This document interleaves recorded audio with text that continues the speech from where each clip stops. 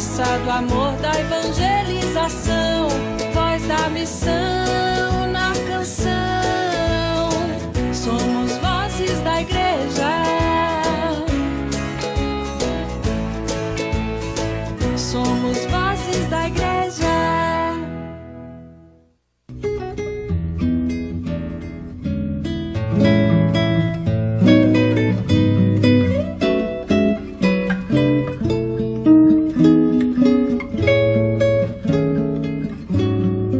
Uma vida com certeza é mais intensa e mais plena quando é vivida a partir da mística, quando o eixo é consciente e quando o sagrado permeia numa serenidade que comanda a própria história de vida. Irmã Miriam Colin e Irmã Kelly Patrícia são duas místicas do universo da música católica. São religiosas, são consagradas, são freiras, são esposas de Cristo. São seres cantantes que, como os passarinhos, louvam a criação do onipotente e bom Senhor. Sou formada em pedagogia, música, sempre fui professora na minha vida e o canto veio como complemento, né? Gente sempre, mesmo na família, cultivamos a música, cantamos a vozes, é uma família grande e de modo que depois eu acabei estudando música, também estudei na Alemanha, na Áustria, ganhei uma bolsa é, e comecei a compor e a, a estudar, a aprofundar meus estudos, a ser convidada e foi assim, né? São mais de 40 anos que eu componho, que eu viajo pelo Brasil.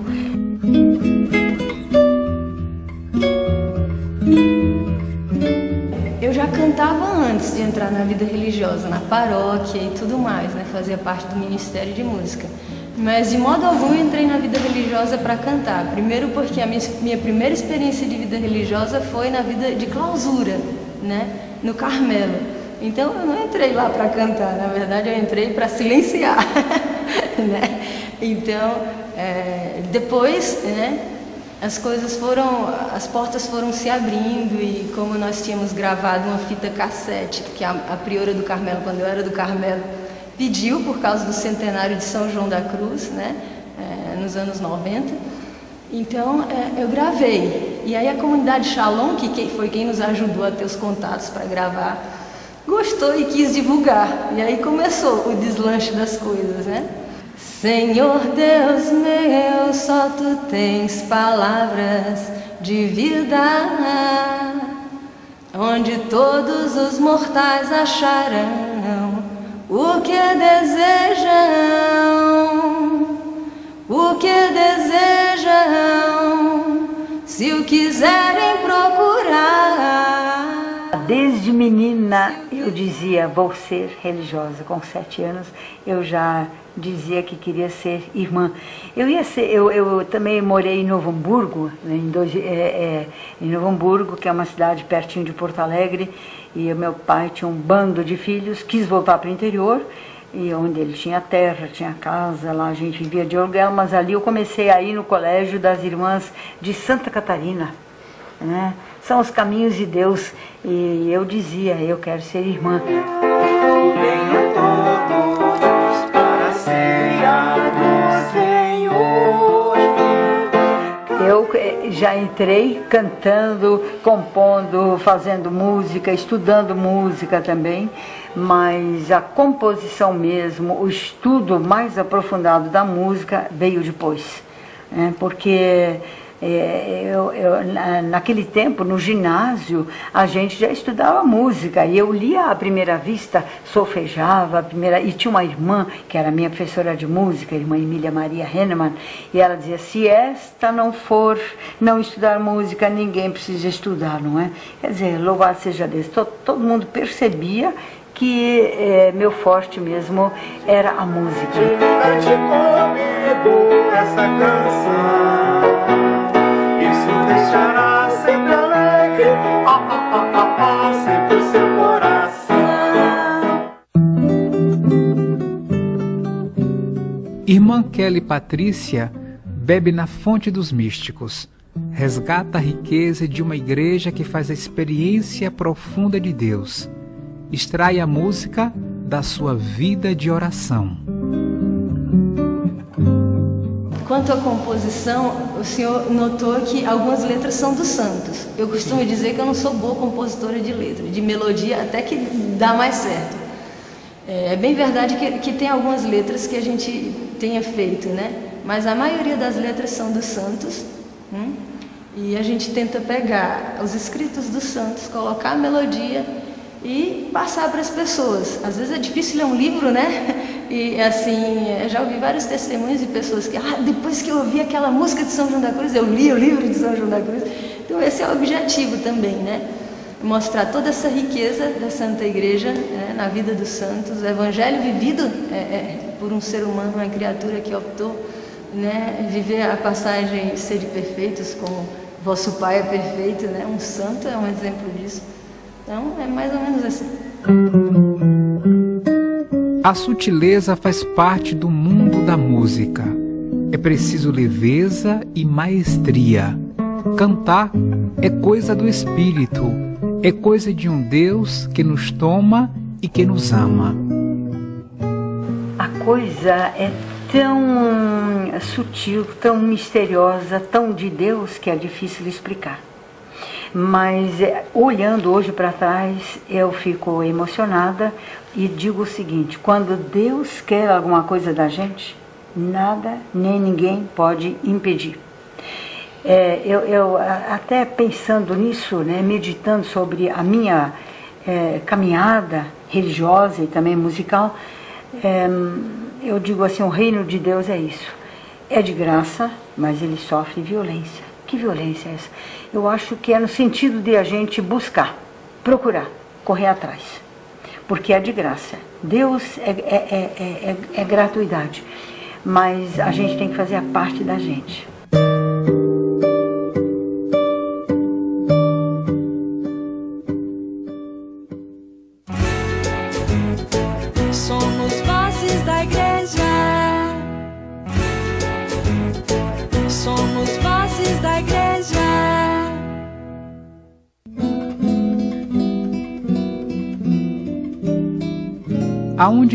Música, aí tem vida.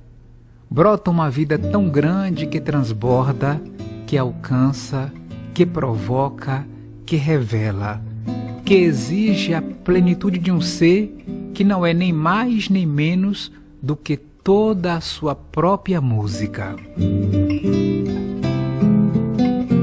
Instituto Hesed, que eu faço parte, tem o carisma de experimentar, viver e cantar as misericórdias do Senhor. Então, esse cantar como é, é, é, faz parte do nosso carisma, mas claro, o cantar tem que ser primeiro com a vida, né? Nossa vida tem que ser afinada para que agrade a Deus, né? Santa Teresinha vai começar a história de uma alma dizendo que não vai contar a história da vida dela, mas vai cantar as misericórdias do Senhor na vida dela. Nem tanto ela não era uma cantora, né, no sentido da palavra, né, mas cantar com a vida, com a alma, com aquilo que se vive. Então, em primeiro lugar está isto. E a música vem como sempre esse transbordar, né? E a gente, com relação à missão, tenta conciliar a vida, né? A gente nunca exagera, né? Primeiro está a vida de oração, a vida comunitária, né? a vivência no nosso mosteiro, porque senão o que, é que nós vamos dar, né? se esse é o propósito? Dar a partir de, um, de uma experiência, de um transbordamento, de uma experiência de coração a coração com Deus, né? Poderíamos dizer que a palavra está ao alcance dos olhos e a música ao alcance da alma e do infinito, e que ela é fruto do tempo, arte do tamanho da existência. Beethoven já dizia onde terminam as palavras, acho que Santo Tomás também diz isso, onde terminam as palavras começa a música, né? No, no sentido litúrgico, que minha música, por exemplo, é mais feita para a liturgia, para o louvor de Deus, não é? Para é, ela tem uma função na liturgia, não é? E é o que a gente também orienta e ajuda o povo a sentir, né? Uma música para o louvor de Deus, então uma música mais específica. mas realmente a música diz o que as palavras não conseguem dizer, não é? Santo Agostinho, o grande Santo Agostinho, se converteu por causa da música na liturgia em Milão, né, na Basílica em Milão, onde Santo Ambrósio celebrava os mistérios de Deus e Santo Agostinho, já em processo de conversão, ele chora, ele se deixa banhar pelas lágrimas né, de consolação e vai eh, fortalece, se fortalecendo nesse, nesse processo todo. Uma coisa é eu dizer, Senhor, tem de piedade de nós. Outra coisa é você, Senhor, tem de piedade de nós, né? Qualquer melodia que seja, porque a voz modula, como Santo Agostinho diz, né? a voz que sobe, a voz que desce, a voz que modula, a voz que procura expressar o que, a, o, que o canto diz, isso é importante. A música tem que ajudar a expressar o que a, o que a palavra quer dizer. É que ela é das artes a mais divina e também a mais abstrata e, tempor, e, e, e é, a, é, a, arte do tempo, né? Você vê uma, uma estátua, alguém fez, a estátua está aí, né? Alguém modelou alguma, né? Hum, uma figura, está lá a figura. Alguém fez uma pintura, está lá a pintura, né? Mas a música é a arte do tempo. A gente tem que ser interpretada, tem que ser cada vez é, tem que ser ouvida, tem que ser trazida para o hoje, para que você possa interpretar, para que você possa sentir, para que você possa rezar. Ela exige tempo, é a arte do tempo, né? Por isso que ela é, é divina. Né? É, é uma coisa incrível, inexplicável, né? A música é Deus, a música é o amor, a música é, é o céu. Quero em meu posto ficar a fitar o sol do amor, do amor. Passarinho é o que eu sou nas mãos do meu Senhor.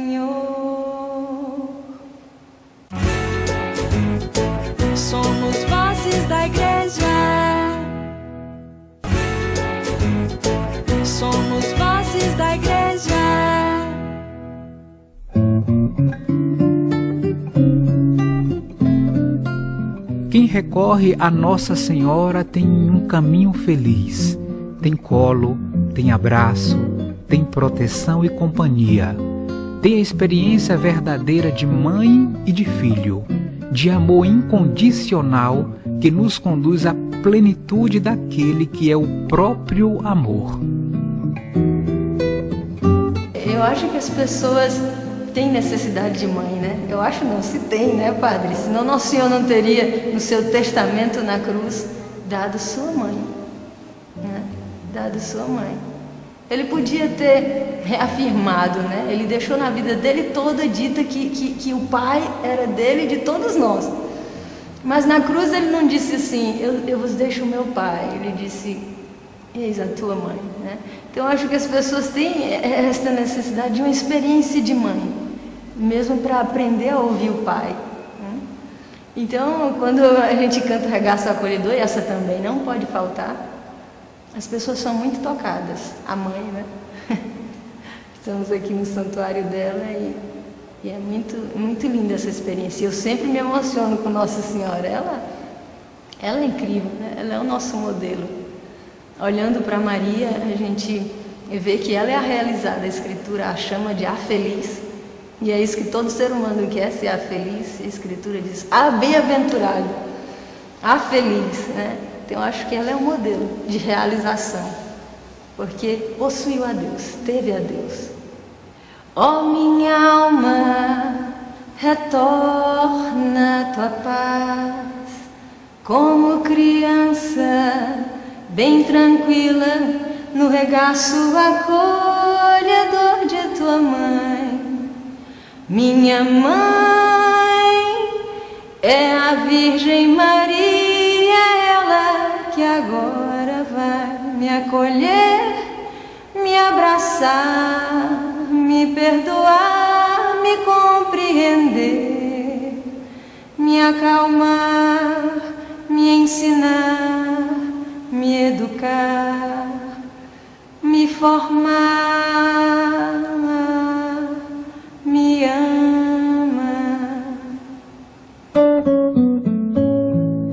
A composição é como uma mulher que foi buscar água no poço. Quem a germina? O que a sustenta? De quem é a obra? Coisas e mistérios de quem escuta a Deus. O povo às vezes pergunta, né, como é que nasceu. Eu também não sei explicar, mas é realmente um dom muito especial, né? Eu fiz um, por exemplo, quando morreu uma irmã da minha comunidade, foi uma coisa, mas eu chorava quando o padre foi celebrar a missa de corpo presente e foi fazer a encomendação, pronto, sem, sem pensar, aquilo veio, né? Quer dizer, é uma coisa que não se explica, cada experiência é única nesse sentido.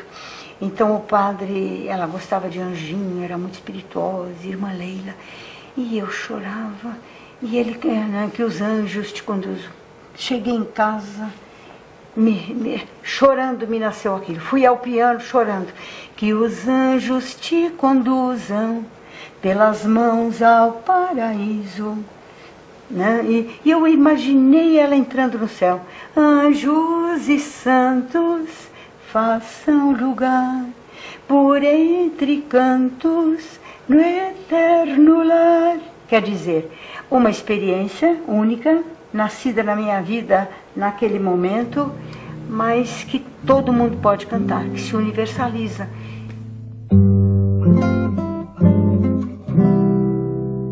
Ave Maria, cheia de graça, o Senhor é convosco. Bendita sois vós entre as mulheres, bendito é o fruto do vosso ventre, Jesus. Santa Maria, Mãe de Deus, rogai por nós, pecadores, agora e na hora de nossa morte. Amém. O Senhor nos dá a bênção, Padre. O Senhor esteja convosco. Ele está no meio de nós.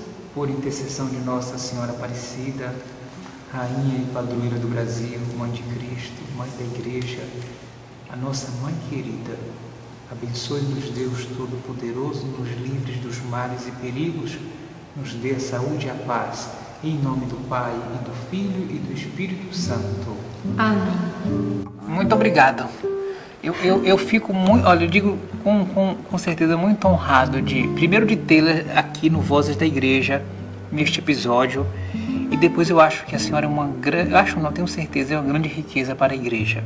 E a gente agradece muito, muito, a gente louva a Deus, louva aos santos, e, e me sinto muito honrado de ter sido aquele menino que veio lá da Bahia, tão simples, escutando e poder estar com a senhora é, é, tendo acesso há, há essa riqueza muito grande. É tudo muito rico e, e a única coisa que a gente pode fazer, eu e todos, é rezar que Deus continue é, doando, né? multiplicando, habitando, que o Espírito continue iluminando, que, e que a obra continue, porque não pode parar. Que nos dê várias Miriams, né? Várias, não uma só, porque nós precisamos o tempo todo. Deus lhe pague, viu? Muito obrigado. Como minha fundadora, Bárbara Marques, eu só posso dizer cantando Louvai a Deus e a sua misericórdia. Louvai a Deus e a sua misericórdia.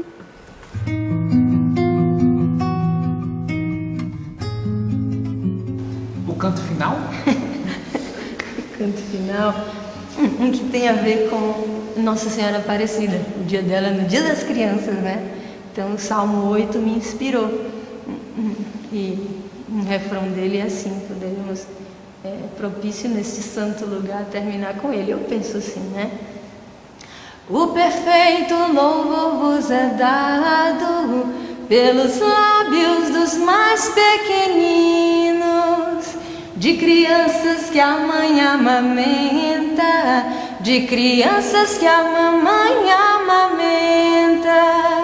O perfeito louvor vos é dado pelos lábios dos mais pequeninos, de crianças que a mãe amamenta, de crianças que a mamãe amamenta.